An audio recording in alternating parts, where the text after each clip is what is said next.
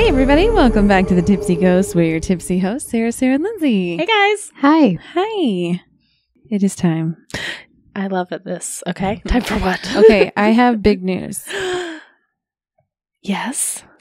Basically, I felt that the Enneagram 4 was not fitting my personality anymore.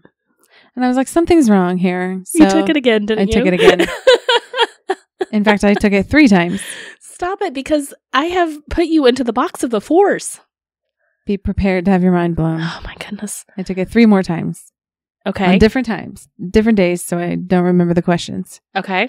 And did you get the same answer all three All times? three times, but not a four. Guess. She knows, so she can't guess. Ooh, this is fun. Yeah, I guess. No, because everything I thought I knew about you was a lie. Um, okay, okay. Does this help? It's there's a wing four. The wing four helps. Um, Mhm. I'm going to say you are a five. I'm a five. I got it. Okay. I'm going to need some time to process this so I can best know how to send you memes and Okay. um, I need to know how to how I knew this would affect you, like to the core, and so She has short circuited. What do I do with my hands? you are telling the psych person yeah. that your personality test was wrong. yes, it was wrong. You know what though? I don't think it is. It was wrong I initially. can see the five. I can Yes. see traits of the four with you. uh huh. So because I'm a we've five talked wing about four. this. Yeah. My husband is a four. So like I see similar traits and characteristics, but I can see how you are a wing four now. Uh huh. I do have friends who are fives, so we can make this work still. Oh, thank God. Are you considering otherwise? It was up No. in the air for a while. I No. felt it. I need I Do need you to wanna, read. Do you want to explain what the five is? I need to read up on it. Um I know that they are like the intellectuals, like you value intelligence and um facts and like it sounds bad being right, but Nope. That sounds right. I work with her. That's right. My like, favorite that thing to sounds be. like a stuck up thing, but it's not. like you take pride in in your knowledge and what you know. That's true. it's funny how you guessed it and you said, "Yeah, I could see that." Like you, like I'm a, uh, I know, I think I don't though Like, know everything, and no, I know it's that. not like you like to know things. So you're I do like curious know. about Yes, things. that is so true. like how you are with history and research. That's why I was okay. a lot of negative things going on in the five world. I feel like every single one of them have negative things because when you first got yours, you saw all the negatives on it. Fives and sixes are There is really nothing but negatives. You were the loyalist. You I am- value loyalty. That is I am huge. a terrified person. That's what I hear. Anxious. I'm scared of everything. I'm scared you of life. value security and you are loyal. That is a very good quality. That is true. That's why like anxiousness is your is like your fear because you value security and stability. Mine is peace. It's like I hate conflict. I'm like, uh, stay away from me. The peacemaker. so I'm looking to see what you value. So you value knowledge. Okay. Mhm. Okay. How do you feel? Well, at first I was like, "This is not right." I'm reeling. So how do you no, feel? that's how I was like, "This is not right." So I started reading through these things, and the more I thought about it, the more I was like, "You know what? This is actually spot on. this is right." If I really, if I'm really being honest with myself, like mostly at work, it's my favorite thing to be is right. Um, and most of the time I am. you want to know how the subject. world works and like why things Yes. are the way they are. That is true. So you like to ask the questions and then you Look it up. Yes. Yep. I can see that with you. Okay. Now, here's the one thing I don't agree with. Uh, fives say that they're very shy, and I am a pretty introverted person. Like, I would much rather be home and charge my social battery that way. I don't know that I'm like a typically shy person, but here's what I will also say. When I was younger and growing up, I was super shy. Yeah. So, being outgoing has been like a learned behavior. Like, I've taught myself how to do that because I don't like being so shy to the point where it's like debilitating. Cool. Like Boyd I knew she was going to say something. so happy for you. I knew she was going to say that. Mm-hmm. Well, that's enlightening. Introvert and extrovert, it's not about like whether you're sociable or whether Right. you're outgoing or whatnot or your people skills. It's just about where you get your energy from. Yep. And so, like, I can be sociable and outgoing and like I am on all the time when I'm at work and stuff like that, but I need time to gain my energy back. Oh, same. Yeah. But like you said, it's learned behaviors. I have learned how to be outgoing and how to like talk to people because I literally talk to people for a living. That's what I do. Can I give you some of your good qualities? I feel Oh, like you need to hear do. these as an Enneagram we 6. need to hear it. That's so sweet. I would love to. You are reliable, That's true. hardworking, Yep. responsible, Uh-huh. and trustworthy. And you are an excellent troubleshooter. All those things are true. These are all true. So Good there job. you go. Focus on the strengths. Stop looking at the negatives that you're an anxious person. I'm a problem solver. damn it. I'll solve your problems. you are a problem solver. That is true. Okay. Congratulations. Thank you. Do you feel better? I do feel better. Okay, good. I do also realize that um, if I can predict the future of like the worst thing that could possibly happen, I would. Well, sixes are catastrophizers. Yeah. It's a real problem. Yeah. I thought I I, thought it was normal behavior to like think of a like if you have a problem coming up and it's going to be uncomfortable to like uh think about just only the worst case scenario so that like if something good happened then you'd be pleasantly surprised. It's normal to me. I thought that was normal. And see, you try to figure out all of the information about it. oh so yeah, you can so know everything prepare about yourself. Yeah. And I'm a dissociator, so I just do not think about it at all. Mm. And if it happens, it happens, but I'm just not going to think about it. But if I don't, it doesn't exist. Yeah. She wants to know everything about it. I do. want to know how to get around it And and, I like want to know anticipate it. And you want to know Mm. nothing. I want to know that I want to pretend like it doesn't exist, and I'm going to come over here and read my books. And if reality happens, it happens.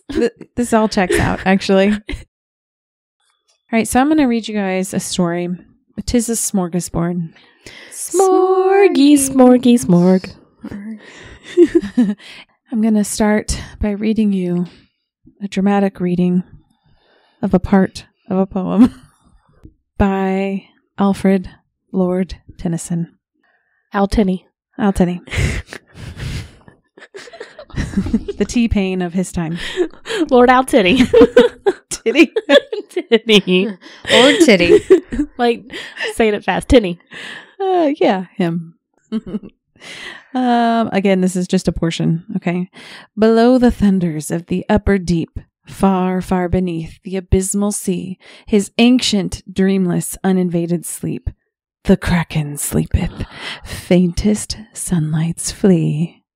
As a special request from our friend Boydston, I have researched the kraken The for you. Kraken. Thank you. How many times are you going to say Mhm. release the Kraken? Just once. Release the kraken. Thank you. Fun fact up until recently, I was told by you guys that the Kraken's not real. Do you want to know how I found out that the kraken wasn't real? I I for- googled it. I forgot this conversation that you legit thought this was a sea creature. I did. I was like, oh yeah, giant squid. Of course, that's real. Giant squid is real. Why wouldn't it be? Turns out the Kraken is may- maybe, maybe not. we don't know. a cryptid. Mm-hmm. Well, he ain't real. we had to break that to Boydston. I told you I, still wasn't sure either. Believe it. I had to Google it, and a long time ago. well, By long time ago, I mean like a year to two. Oh, you guys, I And I love like, you. Is the cryptid? I mean, is the kraken real? That's a silent Google. I don't tell people th- about everything. It's like incognito mode. Yeah. We're like, oh, nobody needs to look at this Nobody history. needs to know if I really wasn't sure. yeah. Turns out I was confidently incorrect. See, that's the difference. I will look it up usually and see because you're five. That's what I'm saying. Okay. Anyhow, yeah, we're going to talk about the Kraken. I love and, this. you know, the Kraken is a really old story, an old legend. So it's kind of simpler, s- simpler, similar to Krampus, where like there's lots of stories that come from this, and we don't know which one's really true. They're all probably true. I don't know. But basically, the Kraken is an enormous sea monster. It is similar to a squid or octopus and has been said to appear in the sea somewhere between Norway and Iceland. Also, you're welcome For Norway? for a Norwegian folklore story. Thank you. Norse legend says that the Kraken was the largest monster in the sea. The name Kraken is derived from the Norwegian word kraka. I don't know how to pronounce it. K R A K K E. Kraka. Okay, like that. Uh, which in English translates to malformed or overgrown crooked tree, which I don't know why they have one word and we have six. Because English is the worst language. We're We're like, we're not sure. It could be overgrown, kind of crooked-ish tree. And they're like, Kraka. Seems more simpler. Kraka. Our language sucks. basically. Kraka originates from the Old Norse word kraki, which means hook. And fun fact, over time, the word kraka was associated with any crooked tree that had been severed from its stem or trunk or anything that had been made from the tree, such as anchors or drags. They'd call them all krakas. Different countries had their own spin on this word, and they all kind of called it different things, but eventually we landed on the word kraken, which is the German word for octopus. that makes sense. It does translate. Although in some of the the stories I saw them say that it's a German word for dragon, but when you like translate in Google Translate, it says octopus. The kraken has also gone by several different names over the years, which are listed in Danish. Steve. It's me, Steve and Chuck. he rises out of the water. Hey guys, it's Steve. My name's Steve. Steve the Kraken. You want to tour with me? My name's Steve. Okay, bye. Bye. he disappears under the water. we should have been in charge of naming cryptids. I don't know what they're thinking. I don't know why we're not a part of somebody's marketing team. That's what I don't know. We are clever. acronyms, all the acronyms we come up with. Goodness. Uh, okay, well, here's the English versions of those Danish words it's harrow, sea harrow, sea rake, craxy, crab, and my personal favorite, the anchor troll. I like Craxy. the itsy bitsy Craxy Aw. went up the spider. That is adorable. Went up the spider? he went up the spider route. the crassy route? Wow. Well, I was trying to think of something else to say, and spider came out. Well, that's the song. My cleverness ran out halfway through the song.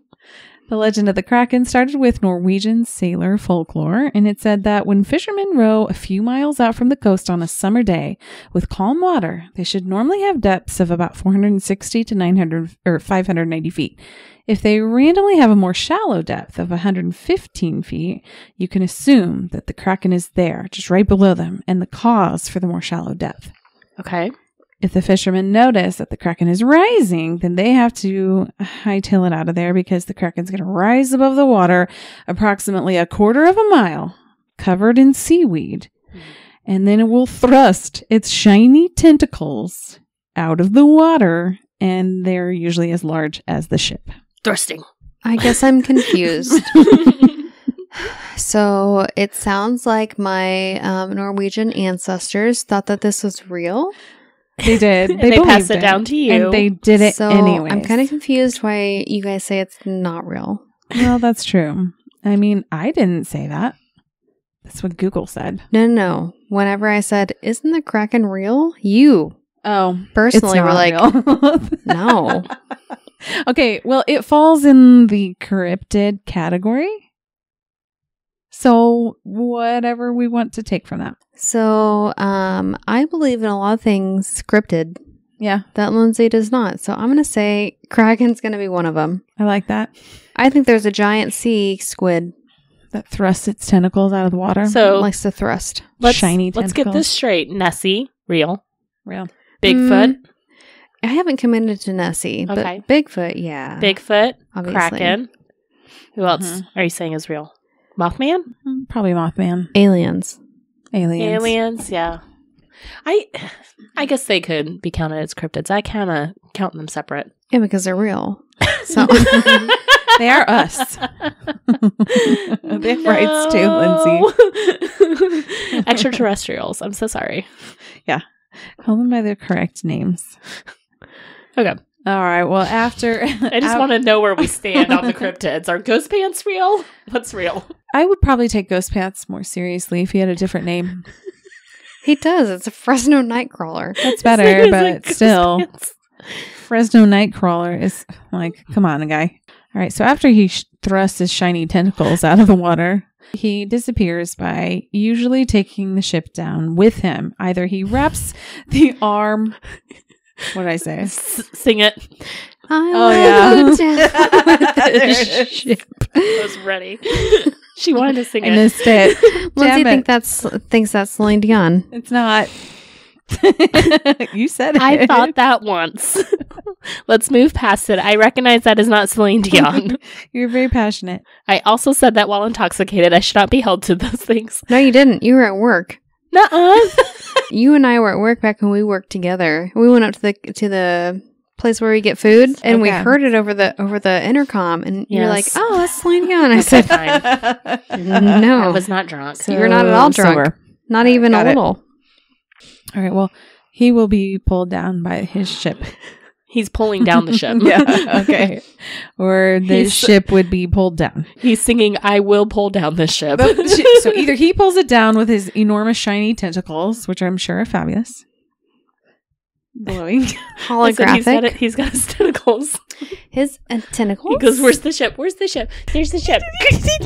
there you are. You're coming with Silly me. guy. Please don't include any of this. I'm gonna tickle you. I'm gonna get you, little guy. Come here, shippy, shippy, ship. you like those tentacles? I think that's what he did. we killed Winston. Listen, the Kraken is a ferocious beast.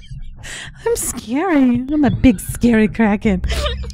I'm a slithering snake. slither, slither. slither, slither. Oh, He sounds terrifying. He's a ferocious beast. right. I'm not gonna cut any of that. not even a second.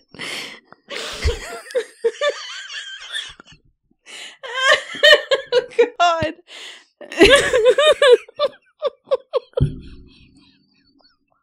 This was the shit to see. He's like, "Mm, this is the show.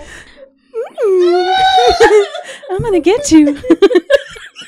I feel like I should turn away. That scream was the sound of people going down. well, okay. So, My cheeks. Anyhow, you get, you get the point. We get the point. The ship is going down The ship's going because of the tentacles. either by the shiny tentacles or because of this enormous vortex that is created when the kraken goes underwater. And that's the scary part about him. Uh, yes, we see those in the movies. The like, it's like a toilet bowl. yeah, All right. One of the first known descriptions of the Kraken was by an Italian writer in the year of 1700. The author describes a massive fish which may had many horns or many arms or maybe both. We don't know. fish with horns. Or arms. Could be a horn. Could be an arm. they also made sure to differentiate this creature from a sea serpent. They're Mm. different, okay? Okay. 1753, author Eric mm, Pontoppidan. Pontoppidan. I don't know where the emphasis is. Pen Pontoppidan. Um, I'm not even trying. pantoprazole. right. That sounds like a medication. it is, actually. Uh, well, anyways, he wrote a book and it was titled this guy wrote a book. The Natural History of Norway. It's, Hmm. yes. and he popularized this word, the kraken, to the English speaking world. He claimed that sometimes the creature was mistaken for a group of small islands with fish swimming in between them. So sometimes fishermen would go ahead and take the risk of fishing over the kraken since there were so many fish. They'd get a ton of them, like obviously, Why Even though it was risky. around The monster. which resulted in a fun little saying that they say in Norway, referring to a plentiful catch. And the saying is, You must have fished the kraken. Okay. The kraken. Kraken? Kraken. Of course, there is always the risk of the seaman. I can't. The minute Sea. the minute sea being engulfed by the whirlpool that's created by the kraken as it goes underwater. People were wondering why they wouldn't see it for several months, and they were like, "Well, the kraken is feeding. This is why." So um, it would feed for a few months, then it'd spend a few months emptying its excrement, and it's thought that maybe the excrement attracted a bunch of fish. That's why the fish always went around. And they also think it could have been maybe similar to the ink discharged by a cephalopod. Cephalopod. Solifopod. The giant squid. Where the hell did I get that? Cephalopod. Cephalopod. Discharged by a cephalopod, Like Squidward. like a squid. S- Squidward. Yes. uh, well, Squidward falls into the cephalopod group. Yeah, yeah. He is A cephalopod. a cephalopod, not a cephalopod. All right. Sometime during Pontoppidan's life, there had possibly been a young kraken that had died and washed upon the shore. Um, and he wrote that it had really long arms and guessed that maybe it crawled like a slug. But um, as I was writing this, I was like, this doesn't make sense because slugs don't have arms. How, how is this happening? Um, their entire body is arms. kind of like an octopus, like how how is I'd one imagine an octopus would do. Like the octopus would use its arms to propel itself, and it might look like a slug. Uh huh. I, I think got it. that's what happened. so this prompted him to start taking notes about which creatures he thought might be candidates for the kraken, because some people at that time were like, "Huh, maybe this is actually a squid." I don't know, but he was like, "I'm going to take some notes and think of some other candidates." okay, So he thought maybe it was a maybe it was a crab, um, maybe it was a squid. He was like, "I don't really know," and then later on he described it as an octopus or starfish. a starfish. Okay, because So the arms. it was Patrick. we got all the creatures. Where is Mr. Krabs? 1802, a French malacologist. What is that? Study of the sea. Study of Mm. um um mammals and ecology. Mollusks. Mollusks. Like okay, that's very snails, slugs, clams, and cephalopods. Well, he studies them, or he did, because it was a long time ago he's dead. 1800. He's dead. uh, he basically identified two species of giant octopuses, which I thought was really funny because I didn't know the plural octopus was octopuses. It's not it was- octopussy. I thought it was. I thought it was octopi. I can't. No, I knew. I knew you were going there, and I said, "Let's try to reel it back and say octopi before she says it." But no, you got it out. I saw where your brain was going. I could not stop it. I'm so sorry, people. I tried. Well, two different octopuses existed according to this malacologist, and uh, the first one was the colossal giant, which killed was a man killer and ripped apart shipwrecked people and divers. Um, and the kraken octopus, which was the most gigantic animal on the planet, and basically made the colossal one look absolutely tiny. So Montfort provided eyewitness examples of a group of sailors who encountered the colossal octopus and drew a picture to represent it basically it's the octopus attacking a ship which if you google uh, kraken right now that's what you're going to see is this drawing of a giant octopus which is basically the size of one of their biggest warships at the time. Based on his research he made a pretty bold hypothesis regarding 10 warships that were lost in 1782 he proposed that the ships were basically destroyed as a result of several octopuses well, so obviously that was the reason that those ships went down. It wasn't because they, you know, ran into a storm or something. No, that's Not logical. All right, 1813, a ship called Niagara uh, was en route to New York and logged a sighting of a marine animal floating on top of the water, approximately 200 feet long, covered in shells, barnacles, Hmm. and had a bunch of birds floating on top. So it was obvious that this creature was dead. In 1830, our friend Alfred, Alfred Lord Tennyson, wrote the poem The Kraken, and I only read you the first little portion, so go read it yourself. It was beautiful. Thank you. Um, basically, he describes a huge sea creature that lived in the depths of the ocean and rose up only to attack ships. So, basically, is the Kraken real? Obviously, yeah. Obviously, no. We're not really sure. No, we're sure. I mean, here's what I will say that we've only explored 5% of, Of the the ocean. sea. Facts. Yes, the ocean So- is terrifying. I will say that there's a definite possibility that we just haven't seen the Kraken yet. I mean, I get it. Absolutely, I get it. So, although squids may not be a half mile long, they're still pretty big and they could probably square up with a whale. That's what I'm saying. So, like, people are like, is it a whale? Is it a squid? I don't know, but the squids are clearly bigger than most whales, these giant squids. Yeah. So there's at least three known occasions when squids attacked a ship. So sadly for the three squid, they lost their life to the ships of or the propellers of the ships. Um, but it does prove that they will do it. They'll go up to the surface and attack a ship. So was it a squid? Maybe the kraken is a giant squid but the giantest squid to exist. And maybe it is 200 feet long. That is big. We don't know. 200 feet long is big. The biggest one we have seen is like 30 feet long. Yeah, that's huge. it's still pretty big, but 200 feet? Damn.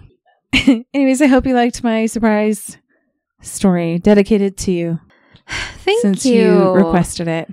I enjoyed your cryptid story. I love all cryptids. I love hearing about them. We don't hear enough about the Kraken, honestly. We really don't, except like Release the Kraken. release the Kraken. Everybody Yes. knows that.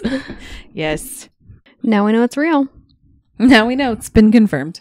All right, guys. Thanks so much for tuning in this week to our Smorgasbord Cryptid episode. You can always find us at thetipsyghost.com with our socials linked from there, or send us an email at thetipsyghost at gmail.com. Uh, cryptid. Settler. The English language has no rules, is what you said. That's true. I make them up as I go. You win. Please give us a five star warning. And nope. Stay away. They're the worst. Five star warning. Five X's. no, no, no. no, no, no, no. Stay away from them. Um, please give us a five star rating and a great review anywhere you listen to podcasts. We really appreciate it, and it really does help. All right, guys. Thanks so much. We will catch you next week. Okay, bye. Bye.